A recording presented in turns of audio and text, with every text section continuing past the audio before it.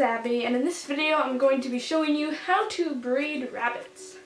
So first you'll need to hop onto Minecraft and you don't need a horse. I don't know why this guy's here. And you are going to need two bunnies. Here I have Nutella and toast. And you will also need some carrots and or dandelions. So what you do is you take, we'll use some carrots for this demonstration. You just need two carrots and you need to have your rabbits in a pen pretty close to each other. I recommend doing double fence gates so then you can close it behind you just to make sure that they don't get out. Then hop in the pen with them and then you have your cute little bunnies here. You have Nutella and Toast.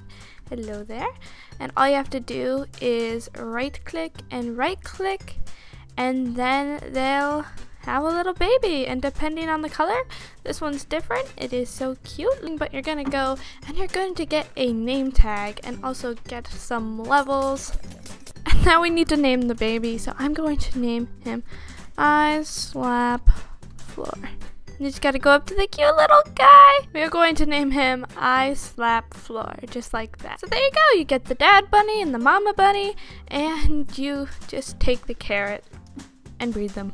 But in all seriousness, please do not just breed your rabbit. Leave it to those who really know what they are doing. But yeah, guys, I really hope you have enjoyed this video. Thank you so much for watching, and happy April Fools. Yeehaw! And or dandelion is not the horse. Get out of here! Now what you need to do, and horses, you are driving me nuts. Look at me, little baby bunny. Look at me, little baby bunny. Wrong way! Somebody trying to escape! And give him... Give him... Er, no, get here. Toast, get out of the way! Toast! Move! Your bum! Shoo! Oh my goodness.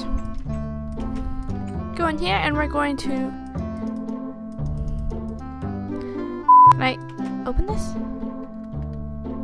It's like... Haha. Dandelions work too.